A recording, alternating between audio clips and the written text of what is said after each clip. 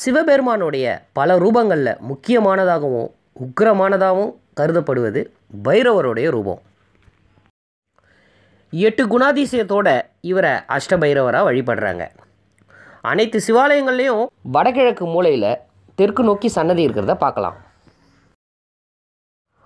ஒரு சில இடங்களில் இவருக்கு தனியான கோயிலும் இருக்குது அப்படி ஒரு கோயிலை தான் இன்றைக்கி தரிசனம் பண்ண போகிறோம் அதுவும் மலை மேலே இருக்கிற ஒரு ஆயிரம் வருஷம் பழமையான கோயிலை தான்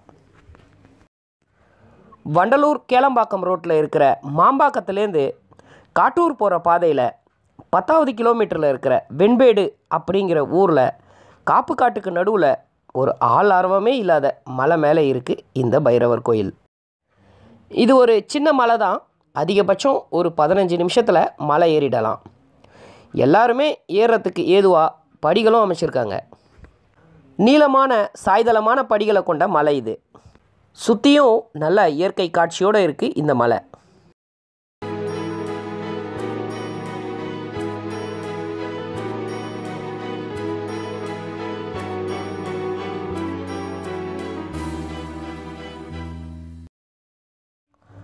மலையோட உச்சிக்கு வந்தாச்சு.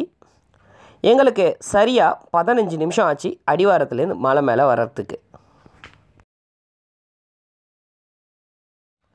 இந்த கருவறை அமைப்பை பார்த்தா தெரியும். இது சோழர்கள் அல்லது பல்லவர்கள் காலத்திய கட்டுமானம். இன்னும் இந்த கோயிலை தொல்லியல் துறை ஆராய்ச்சி நடத்தினா இதோட உண்மையான வரலாறு தெரிய வாய்ப்பு இருக்குது கருவறை சுவர் முழுவதும் கருங்கல்லாலையும் விமானமோ கோபுரமோ செங்கல் மற்றும் சுண்ணாம்பு கலவையால் கட்டப்பட்டிருக்கு. இந்த கருவறை விமானத்தை பார்த்தீங்கன்னா தெரியும். இந்த விமானங்களுடைய ஒவ்வொரு மூலையிலையும் நடுப்பகுதியிலையும் ஒரு மண்டபம் போன்ற அமைப்பு இருக்குது இந்த விமானத்தை சுற்றி அஷ்டபைரவர்களை குறிப்பிடும் விதமாக எட்டு குட்டி கோபுரங்கள் அமைக்கப்பட்டிருக்கு. இங்கே இருக்கிற மூலவர் காலபைரவர். திங்கட்கிழமை மற்றும் தேய்பிரை அஷ்டமியில் பைரவரை வழிபடுறது உகந்ததுன்னு சொல்லுவாங்க. பல தேய்பிரை அஷ்டமியில் இவருடைய அழைப்பு எனக்கு இருந்திருக்கு. பலமுறை இங்கே நான் தரிசனம் பண்ணியிருக்கேன். பொதுவாக பஞ்சபூதத்து நடுவில் இருக்கிற சிவலிங்கங்களுக்கு அதிக சக்தி இருக்குன்னு சொல்லுவாங்க. இன்னும் உக்கிரமான தெய்வமான இந்த பைரவர் இருந்தால் எவ்வளவு சக்தியோடு இருப்பார்னு நான் சொல்லி தெரிய வேண்டியதில்லை. மரண பயமோ எதிரிகளிடம் இருந்து பயம் இருக்கிறவங்களும் எந்த பிரச்சனைகளும் சந்திக்கக்கூடிய மனதைரியம் வேணும். எதிரிகளை எதிர்க்கக்கூடிய சக்தி வேணும். அப்படின்னு நினைக்கிறவங்களும் வழிபட வேண்டிய சிவபெருமானுடைய முக்கியமான ரூபம்தான் இந்த பைரவர்.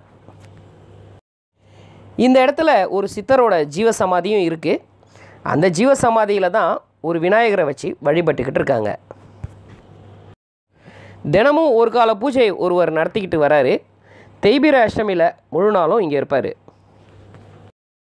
பைரவர் வழிபாடு அப்படிங்கிறது நம்மளுடைய வாழ்க்கை போக்கையே மாற்றி எதிர்த்து வரும் பல பிரச்சனைகளை தூள் தூளாக்கி வெற்றி பாதைக்கு கூட்டிகிட்டு போகிற பிரம்மாஸ்திரம் தான். பஞ்சபூதங்களுக்கு நடுவில் இது போன்ற மலைகளில் இருக்கிற க்ஷேத்திரங்களில் இருக்கிற இந்த க்ஷேத்திரபாலரை வழிபட்டு பாருங்கள் நம் வாழ்க்கையில் எடுத்து வைக்கிற ஒவ்வொரு அடியும் வெற்றி பாதைக்கு கொண்டு போகிறது உறுதி. மீண்டும் இதே போல் வேறொரு பழமையான ஸ்தலத்தில் உங்களை சந்திக்கிறேன். அதுவரை நன்றி வணக்கம்.